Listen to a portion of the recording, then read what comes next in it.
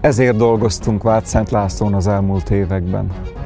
Folyamatosan újítjuk meg a település belterületi és külterületi útjait, járdáit. Újjá varázsoltuk az Arany János Művelődési Házat. A Szent László általános iskolát energetikailag korszerűsítettük.